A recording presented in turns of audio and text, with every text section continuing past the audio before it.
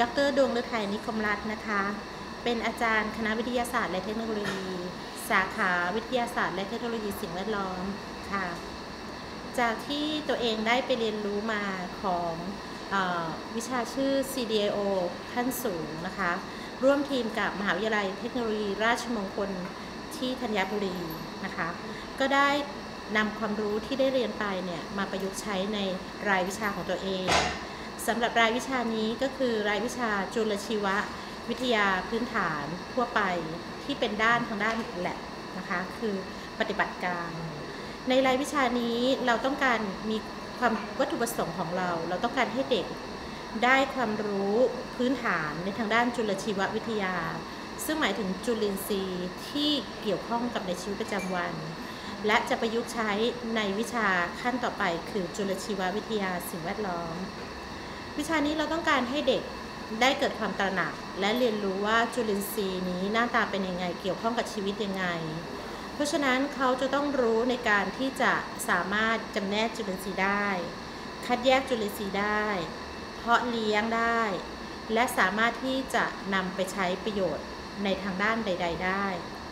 แต่เนื่องจากเด็กนักศึกษาชั้นปีนี้เป็นชั้นปีที่ 1 ความคาดหวังก็จะประมาณหนึ่งคือ 1. สามารถที่จะแยกออกจากเชื้อ แยกเชื้อออกจากสิ่งแวดล้อม ซึ่งในที่นี้เราให้เด็กแยกจากอาหาร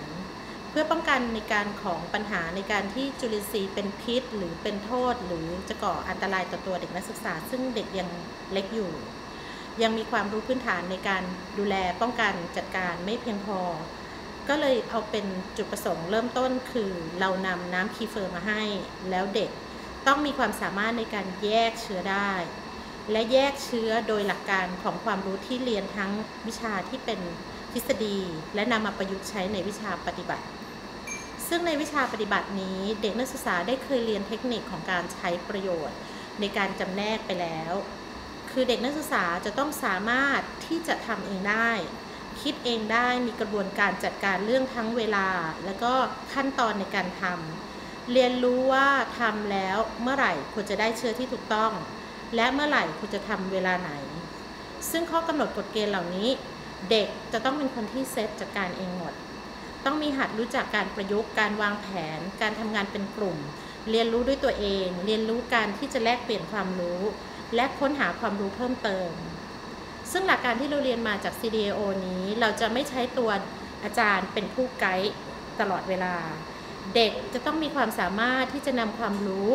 และก็เรียนรู้ของที่อาจารย์สอนและค้นหาเพิ่มเติม และตอบคำถามที่ไม่ได้เตรียมตัวไว้ก่อน ดังนั้นในคลาสนี้ซึ่งเป็นคลาสวันสุดท้ายของ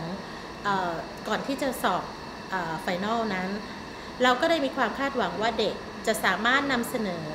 ในรูปแบบของโปรเจกต์เล็ก ๆ ที่เขาทำไป ในรูปของ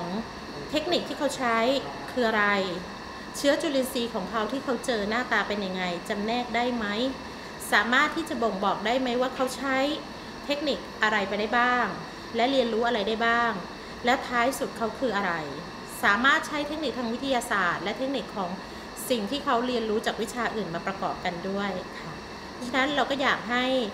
ทุกคนได้เรียนรู้แบบนี้ คือไม่ใช่เรียนแค่ในทฤษฎีหรือในปฏิบัติอย่างเดียว แต่ต้องหัดประยุกต์ใช้ด้วยค่ะ ขอบคุณค่ะการทำอะไรคะเซตกล้องทำไมอะ เอาไว้ส่องดูเชื้อส่องดูเชื้อจุลินทรีย์อันนี้เป็นกล้องชนิด compound light microscope ใช้หลักการยังไงคะ แสงจากตรงไหนคะจาก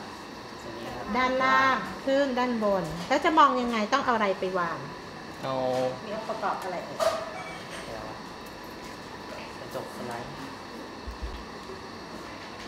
นั่นอะไรเอ่ยอยู่ตรงไม่แน่ใจไม่ไม่นั่นอะไรเอ่ยที่ไปวาง อยู่ตรงนี้อะไรไล่ถึงกระจกแล้วก็จะมีเป็นเชื้อที่ที่เราสนใจต้องหมุนในรูปของเหลวใช่ไหมค่ะ แล้วกำลังหมุนอะไรอะอุปกรณ์นั้นน่ะที่ชี้เนี่ยน่ะปรับอันนี้เรียกอะไร อันนี้ปรับภาพละละเอีเอียยดดครับและอันใหญ่นั้นภาพภาพยาวไม่ใช่ครับหนึ่งไลท์stage stage อะไหน stage ลูก อันนี้เรียก stage ไม่ใช่เหรอเกิดปรับปรับอันนี้ปรับภาพละเอียดนี่ปรับภาพหยาบ stage จะมีการขยับขึ้นขยับลงอ่าแล้วนี่เป็นปุ่มอะไรคะแสงครับแให้แสงมากแสงน้อยครับผมอืมแล้วนี่อะไรเออเลนส์เลนส์ใกล้วัตถุค่ะเลนส์ใกล้วัตถุมีกี่แบบ มีสี่แบบ อืมแล้วต่างกันยังไงคะลูกกำลังขยายครับค่ะยังไงคะ สีแดงเป็นกำ มีลังกำลังขยายสี่สิบสี่สิบแล้วก็ร้อยอืมอันละร้อยกับสี่หรือคือสิบนี้มันต่างกันยังไงกำลังขยายของร้อยเนี่ยจะทำให้เห็นเชื้อที่ใกล้ใกล้แล้วก็เห็นขนาดที่ใหญ่กว่า อืมแต่ถ้าสี่เนี่ยจะเห็นที่ห่างจะดูที่ค่อนข้างห่างแล้วก็จะเห็นเชื้อไม่ค่อยชัดเท่าไหร่อืมทีนี้ถ้าเกิดเชื้อมันที่ตัวเล็กตัวใหญ่เนี่ยควรใช้เลนส์ต่างกันไหมต่างเช่น ตัวเล็กควรใช้เป็นที่มากกว่าสี่ขึ้นไปอืมแต่ถ้าตัวใหญ่ก็ใช้ประมาณสี่ก็พอ คุณมีช้อยถ้ามีแบคทีเรีย เชื้อรา และเชื้อยีสต์จะดูยังไงดีสีฟ้าสีฟ้าอย่าใช้ที่สีสิลูกสีเปลี่ยนได้แต่ตัวขนาด 10x ดูอะไรได้ 10x นี่ใหญ่เห็นภาพใหญ่หรือเล็กเห็นภาพไม่ใหญ่มากเลยมากหรือไม่มากใช้อะไรเป็นเกณฑ์ลูกกำลังขยายครูมี3ตัวให้เลือก มียีสต์แบคทีเรียราคุณจะแยกจากกันยังไงมี แบคทีเรียราใช่ จะใช้หัวอะไรดี ใช้สิบไล่ไปเลยครูจะไม่ยุ่งละ แต่ครูต้องการจะทราบไหลเล่าซิว่าทำยังไง น้องหนูเล่าไปคนนี้ทำไป ก็ปรับเลนส์อ่าใกล้วัตถุตามที่ต้องการดูก่อนแล้วก็เลื่อน ต้องเริ่มที่หัวอะไรก่อนไหม เอ่อสีเอ็กต้องเริ่มที่ 4x แล้วอะไรยังไงต่อคะ แล้วก็ปรับภาพละเอียดค่ะ ให้ถ้าเห็ยัน งถ้ายังไม่เห็นภาพก็ให้ปรับเป็นภาพหยาบเลื่อนดูก่อน ให้ทำภาพหยาบก่อนนะปรับปุ่มหยาบก่อนแล้วค่อยเป็นปรับปุ่มละเอียด หลังจากที่เห็นแล้วยังไงต่อ ก็ส่องดูว่าเป็นเชื้อประเภทไหนโอเค ถ้าสมมุติเป็นแบคทีเรียเรายังไม่เห็นทำยังไงดี ก็เปลี่ยนเป็นกำลังที่สิบเป็นที่ 10x แล้วต่อไปก็ต้องเป็นกี่ x สี่สิบเอ็กอ่า 40x ไหนลองขยับพอเห็นเลยหรือยัง อะขยับต่อเลยค่ะ ต้องหมุนทิศให้ระมัดระวังใช่ไหม หมุนให้ถูกทิศเนาะนี่ 10x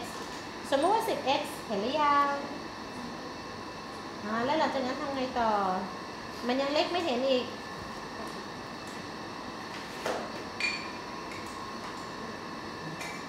ต่อไปเป็น 40x ได้ยัง อ่า 40x ต้องระวังอะไรลูกเดินเดินกับ อ่าถ้าตามทฤษฎีมันควรจะพอโอเคไม่โดนครูมีข้อคำถาม 100x มองเนี่ย เราจะมองไม่ค่อยเห็น เราควรแก้ปัญหาในการมองเห็นด้วย เราจะเติมอะไรลงไปน้ำมัน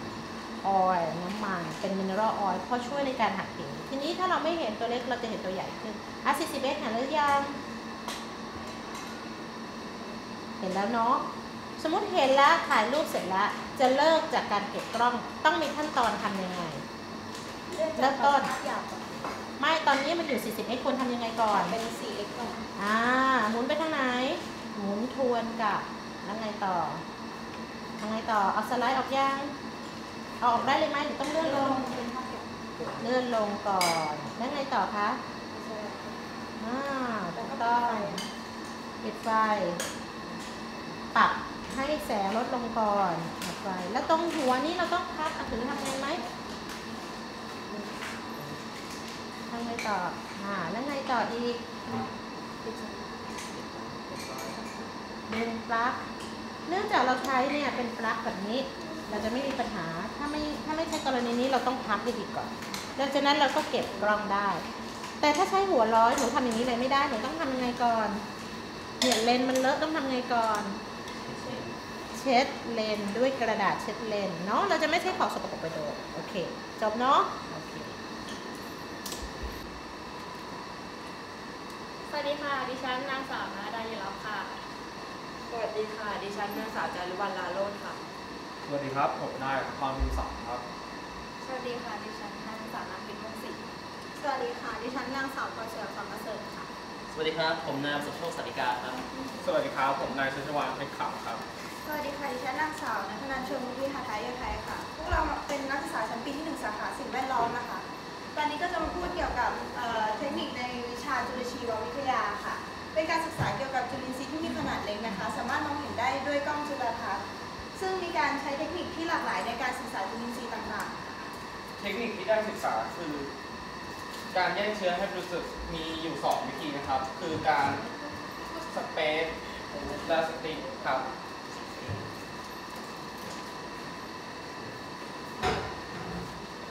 การการแยกเชื้อบริสุทธิ์โดยการสตรีมค่ะ เป็นการขีดเชื้อลงในอาหารเลี้ยงเชื้อมีอุปกรณ์ดังนี้ค่ะ มีลูปเพลทอาหารเลี้ยงเชื้อ เครื่องออโต้เคลฟเชื้อทีเฟิร์มตะเกียงแอลกอฮอล์ค่ะ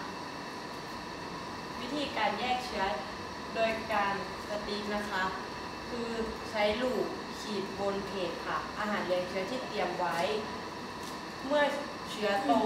จะเกิดเป็นกรณีเดี่ยวๆตามที่ขีดไว้ค่ะ แต่ถ้าหากมีการปนเปื้อนจะเกิด คอนทามิเนตค่ะ การแยกเชื้อบริสุทธิ์โดยการสเปซนะครับเป็นการกระจายเชื้อในอาหารเลี้ยงเชื้อโดยมีอุปกรณ์ดังนี้นะครับ spreader plate อาหารเลี้ยงเชื้อ เครื่อง autoclave เชื้อ kefir และตะเกียงแอลกอฮอล์และก็แอลกอฮอล์นะครับค่ะ วิธีการทำนะคะคือ วิธีการทำนะคะคือใช้ spreader จุ่มแอลกอฮอล์นะคะ แล้วก็นำไปลากเพจที่มี เชื้ออยู่นะคะ มีอาหารในเชื้ออยู่ แล้วก็ทิ้งไว้เวลา 3 วัน โดยมีอุณหภูมิที่คงที่นะคะมาแล้วก็มาดูว่ามีเกิดโคโลนีเดี่ยวๆไหม ถ้ามีเกิดโคโลนีเดี่ยวๆคือผลในการทำแบบสำเร็จค่ะ แต่ถ้าสมมติว่าเกิดคอนซามิเนตนะคะ คือเป็นการปนเปื้อนนะคะ ก็คือยังไม่สำเร็จ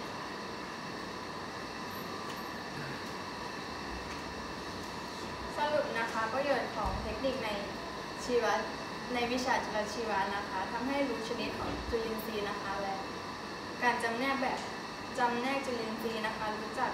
การแยกเชื้อให้บริสุทธิ์โดยการสปีกกับสเปซ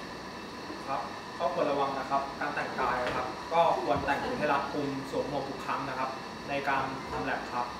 ถอดเครื่องประดับนะครับ แล้วก็ระวังตัวเองทุกครั้งในการทำแลบครับขอบคุณครับขอคอมเมนต์นิดนึงเนาะ ขอดูภาพแรกก่อน อันนี้เราจุดประสงค์ครูต้องการให้คุณประเมินในหัวข้อของคุณทำโปรเจกต์ แต่นี่คือคุณก็ไม่เลวร้าย คุณพยายามประเมินในฐานะของคุณได้เรียนรู้เทคนิคที่ถามไปทั้งหมด แต่ในการที่คุณเรียนรู้ทั้งหมดนี้ เรายังไม่เจาะเลยขอนิดนึงคือประเมินได้ว่าเชื้อที่เราเห็นเนี้ยเราต้องรู้ก่อนว่าเป็นเชื้อแบคทีเรียประเภทไหนใช่ไหมคะแบ คทีเรียประเภทของเราควรจะเป็นเชื้อประเภLactobacillus ต้องประเภทสร้างกรดต้องโตใน kefir ได้ อาจจะเป็นยีสต์อีก อาจจะเป็นเชื้อรา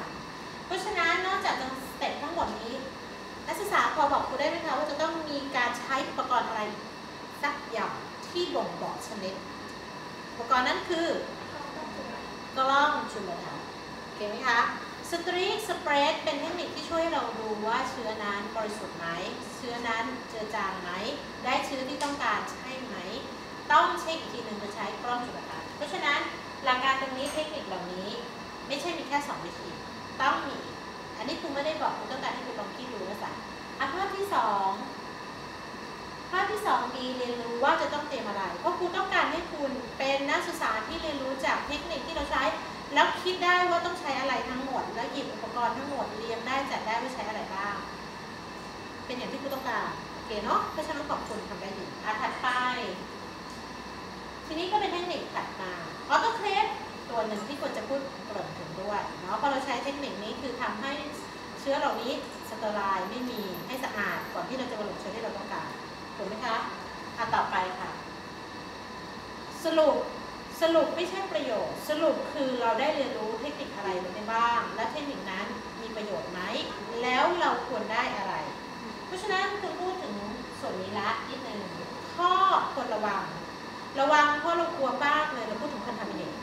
คอนทามิเนตคือการปนเปื้อน มันเป็นไปได้ทั้งปนเปื้อนเชื้อ และปนเปื้อนสารที่เราไม่ต้องการถูกไหมคะ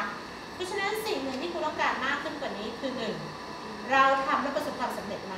เล่าเรื่องส่วนนั้นให้เขาฟังนิดนึง เพราะว่ามันเป็นประสบการณ์ของการทำแหละคุณไม่ได้คาดหวังเด็กนักศึกษาชั้นปีที่หนึ่งเนาะของสาขาเราด้วย